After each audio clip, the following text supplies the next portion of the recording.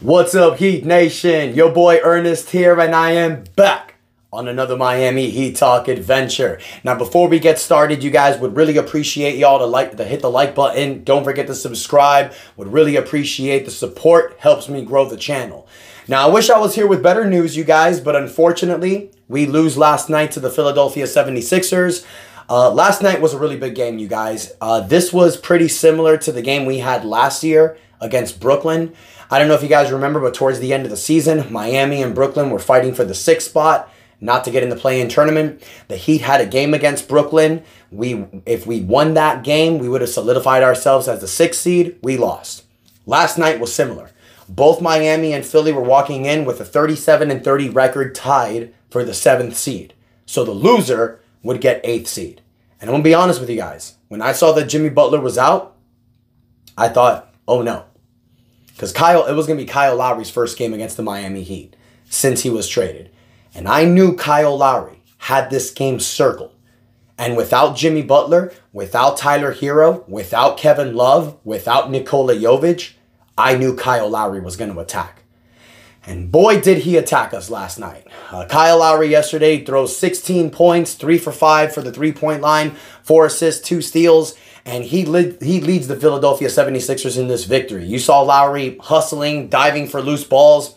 Uh, I'm not going to say that I regretted trading him, but I'm to say that I knew he was to do that last night. I'm pretty sure his body's hurting like a mother today, so you're not to get that performance for Kyle, but he had this game circled down. And as a sh- sign of respect and to show y'all that I'm not a hater, I am wearing a Miami Heat Kyle Lowry jersey. This is probably the last time you're to see me rock this jersey on this channel. So go ahead, bask in it, man. But um, respect to Kyle Lowry. I have nothing but respect for what Kyle Lowry did for us. In 2022, Kyle Lowry took 58 charges in one season. That was more than half of the NBA teams, not players, teams. Kyle Lowry did his best for us in the 2022 season. He was our starting court. Uh, he was our starting point guard, QB one. We didn't win a championship, and last season he took a bench role, help us go to the NBA Finals. And I know that Jimmy Butler and Kyle Lowry were having conversations all season, you guys. I know that they were set on bringing a 2024 championship to Miami. Eastern Finals the first year, NBA Finals the second year. This would have been the year to win it all. But we wanted Terry Rozier, and I'm going to support that decision, especially come playoff time. I think Rozier is going to give you a lot more than Lowry did. So we're going to end that topic there. Thank you for the service, Kyle Lowry. Read between the lines from yesterday. Anyways, so this game wasn't a great showing by the Heat. Uh, you get two players that crack 20 points, Bam Adebayo and Terry Rozier. They both give you 20. Bam again dominates on the rebound boards, gives you 13 rebounds. Uh, it was a bummer for Duncan Robinson. Um, I really feel this game, you guys. We only lost by seven points. Duncan last night plays 24 minutes, one for five for the field. He only gives you three points. Duncan was dealing with a back injury yesterday, so I feel if you had a healthier Duncan, because the game prior he knocks down 30. Yesterday he gives you three. If we have a healthier Duncan Robinson, we win. Haywood Highsmith, Caleb Martin, and Thomas Bryant, they all give you production. All of them score over 10 points. I've called Caleb Martin the glue guy off the bench, and we are seeing that. Caleb Martin is our six man right now until Tyler Herro gets back. And he's showing that he's good enough. Thomas Bryant, he's holding it down for Kevin Love, man. But we need Love back. I mean, I've said this a million times, you guys. Injuries. Injuries what hamper us the most. We know this. We know this is the this is the storyline for the Miami Heat in the Jimmy Butler, Tyler Herro, and Bam Adebayo era. This is what we're dealing with. Injuries. I don't care what this regular season record says. I do not care, you guys. All I am asking for, all I am praying for, is in the 2024 NBA playoffs. Dear Lord, can you give me a healthy roster? Because if we are fully healthy going into the playoffs, nobody wants this smoke in a seven game series. I don't care if it's Boston, Milwaukee, I don't care if it's Cleveland, I don't care if it's New York, I don't care. The problem that the Heat have is the West. How can they win an NBA championship this year? How? Be healthy. Hope that Jimmy, Tyler, Caleb, Bam, and Duncan go off and they win you games in the playoffs. That's the best thing I can say, you guys. We have players on this team individually that can win you playoff games. Kevin Love can win you a game. Duncan Robinson can win you a game. Terry Rozier can win you a game. Tyler Herro can win you a few games. We Caleb Martin can win you games. We saw it last year. We have a roster comprised of guys that can do damage in the playoffs. But what we need is health. So I don't care what our regular season says. I just hope we can get out of the play-in. If the Heat can get the sixth seed, we're gold. We're in a halfway. We're in a halfway. Um, uh, we're only a half game down from the sixth seed. Philly got the sixth seed because Indiana lost last night also. So it is so close. So the Heat can get this done, you guys. I'm not worried. I'm not. I don't care. I really don't care about records. The only thing I want is to not be a play-in team. I just want that to happen. I want the Heat to get out of this play-in. I don't want guys like Jimmy Butler and Kevin Love to have to play added games if they don't have to. But I don't care. Wherever we get in the playoffs, I'm confident. I know people call me deluded. I know people call me biased. I know people, you can say whatever you want. But on this channel, you guys, what's the name of this channel? Miami Heat Talk. I am the voice of the voiceless for positivity here in Miami Heat culture. I'm the guy that steps up and makes everybody believe in this roster. Not because they're just words, because it's a fact. This Miami Heat roster since 2020 have been winners. Just because we have not won an NBA championship doesn't mean that we're a losing franchise. We've made it to the championship twice in the last four years. We've made it to three Eastern Conference finals. And you know why? The reason why I have so much pride and only real Miami Heat fans are going to understand what I'm saying. I have a wife, I have kids, I have a brother, I have a mother, I have I have family members and we've all grown watching the Miami Heat.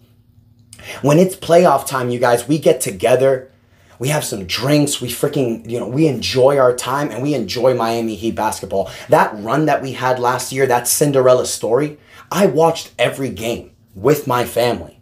It was a beautiful moment to have. And I'll never forget in 2006, 2012, and 2013, I was with my family. All of those times when we won the NBA championship. I have history as a Miami Heat fan. I bleed red, black, and yellow. This is my squad. I will never doubt them, but I will always be honest. And I will always say if I truly feel if we have a shot, and we do, how can we win it? We need all hands on deck. And this is going to go to my next topic. That man, Jaime Jaquez Jr. He is going to be key and pivotal for us in the playoffs. I think Jaime Jaquez Jr. can give us a way better productivity than Christian Braun did for the Denver Nuggets. And we saw Christian Braun win the Denver Nuggets games, not only in the playoffs, but in the NBA Finals. Jaime Jaquez can be better than that. Now, we've seen a great Jaime Jaquez. The first half of the season, you guys, we were all calling him Rookie of the Year. We saw him drop 30 bombs on teams. We saw him step up and take over when Jimmy Butler was out. But in the second half of the season, since the All Star break, he hasn't been that guy. Now, I will say, his numbers since the All Star break are very consistent 11.3 points a game, 4 rebounds, 2.5 assists, 1.3 steals. They're very similar to his numbers for the season. His season numbers are 12.5 points, 4 rebounds, 2.5 assists, 1.1 steal a game. Very similar. But if you notice, before the All Star break, Jaime was averaging close to 15 points a game. So his numbers did drop. And I think it's for two reasons. One, we got a little healthier. You know, in the beginning of the season, we were, Tyler was out for 18 games, Jimmy missed time, Bam missed time, Caleb missed time. So it gave Jaime the opportunity to step up. And that's when we all started calling him Jimmy Butler Jr. But lately, he hasn't had that. And if you noticed, his last five games, you guys, have been abysmal. The only successful game he had in the last five games was last game against Detroit, where he dropped 15 points and gave you four rebounds. But he also went 6 for 14 for the field. That's because Jimmy wasn't playing. The other games, the other four games, he didn't even crack 10 points in any of those games. So, is there cause for concern with Jaime Jaquez Jr.? Do we feel that in the playoffs, he's not going to contribute like he did the first half of the season? My answer no. I think what we're seeing right now with Jaime Jaquez Jr., you guys, is just a little bit of rookie struggles. Now, look, it's not happening with Victor Wembanyama, but when you are taller than everyone and the basket is like two feet above you, it's really not that hard. It's like me if I go to my daughter's school and play against all the kids in the daycare. I'm gonna do good. No matter what day of the no matter what day of the year it is. I'm gonna do pretty good. I'm not I'm not gonna compare him with Victor Wembanyama. I'm not gonna compare him to Chet Holmgren. He's a different player. So he's going through rookie struggles. And it's not only because he's not that tall. I mean, he's six foot six, 225 pounds. It's also because he's like the fifth or sixth option on this roster. He's below Jimmy, Bam, Tyler, Duncan, Terry Rozier. So the fact that Jaime Jaquez is able to produce these numbers with being the fifth or sixth option at times is very impressive. And I believe that when it comes to playoff time, we're going to see a different team. We're going to see a different locked in team. We're going to see a different Jimmy Butler. We're going to see a different Bam Adebayo. We're going to see a different coach, Eric Spoelstra. But it's up to these guys, the role players.